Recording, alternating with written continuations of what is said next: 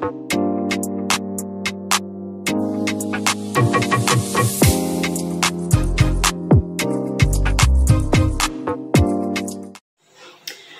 dia, boa tarde, boa noite, pessoal. Tudo bem com vocês? Videozinho bem breve, só pra mostrar uma coisinha que eu fiz que eu gostei bastante. Que foi um assadão de legumes, assim. Eu coloquei é, berinjela, cebola, tomate, couve-flor e abobrinha. Acho que foi só isso.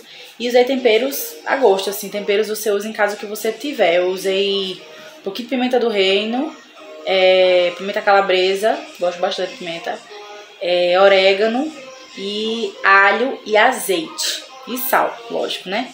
Então eu reguei com bastante azeite, coloquei, cortei tudo em rodelinha, usei pimentão também. O pimentão eu cortei em tirinha, então eu cortei tudo em rodelinha, coloquei na assadeira, temperei, misturei todos os temperos e coloquei por acho que 20 minutos só dentro do forno com papel alumínio, depois eu tirei só para dar uma torradinha.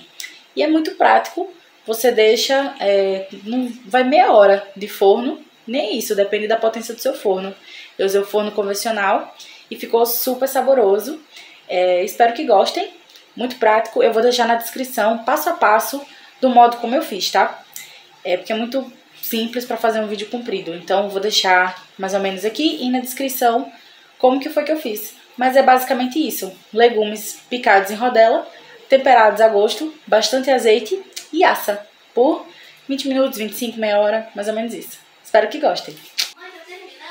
Saladão, tomate, abobrinha, cebola, é, berinjela e couve-flor, azeite e vai pro forno. Tem pimentão também.